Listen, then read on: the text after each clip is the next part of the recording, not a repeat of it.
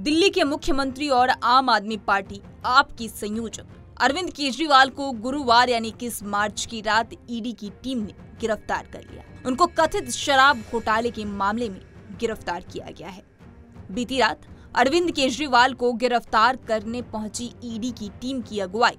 एक joint director level के अधिकारी कपिल राज कर रहे थे। कपिल राज शराब घोटाले मामले के जाँच अधिकारी भी हैं। केजरीवाल को गिरफ़्तार करने से पहले उन्होंने घर पर भी उनसे कई सवाल पूछे आखिर कौन है कपिल राज जिन्होंने दिल्ली के सीएम को गिरफ़्तार किया है रांची जोन के प्रमुख हैं कपिल राज जी हाँ कपिल राज फ़िलहाल ईडी के रांची जोन के चीफ हैं।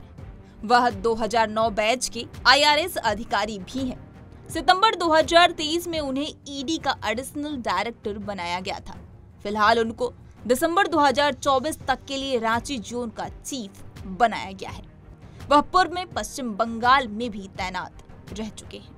हेमंत सोरेन को भी अरेस्ट किया था। आपको बता दें कि कपिल राज ने सिर्फ़ दिल्ली के सीएम को ही नहीं, बल्कि दो महीने पहले झारखंड के तत्कालीन मुख्यमंत्री हेमंत सोरेन को भी अरेस्ट किया था। गिरफ्तारी से पहले हेमंत सोरेन ने कपिल राज, असिस्टेंट डायरेक्टर देवव्रत झा अनुपम कुमार और अन्य के खिलाफ रांची के एस टी थाने में शिकायत दर्ज कराई थी। उन्होंने यह एफआईआर दिल्ली स्थित उनके घर पर छापेमारी के खिलाफ कराई थी। अब आपको बता दें कि कई बड़े मामलों की जाँच कर रहे हैं कपिल राज। जी हाँ कपिल राज इस समय कई हाई प्रोफ़ाइल मामलों की जाँच कर रहे हैं। झारखंड में अवैध खनन घोटाला, ज़मीन घोटाला और विधायक नगद घोटाला सहित कई और मामलों की जाँच उनकी अगुवाई में हो रही है। उनके काम को देखते हुए पिछले दिनों ही इन्हें ministry of finance department of revenue ED section की ओर से एक साल का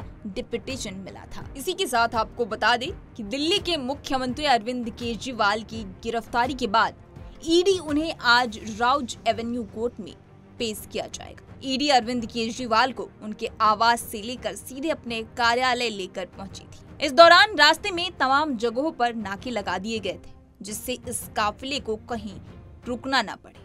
ईडी दफ्तर जाने वाले सभी जगहों पर घेराबंदी कर दी गई हुई थी, जिससे ईडी को या फिर जाने वाले रास्ते में किसी तरह की परेशानियों का सामना न करना पड़े।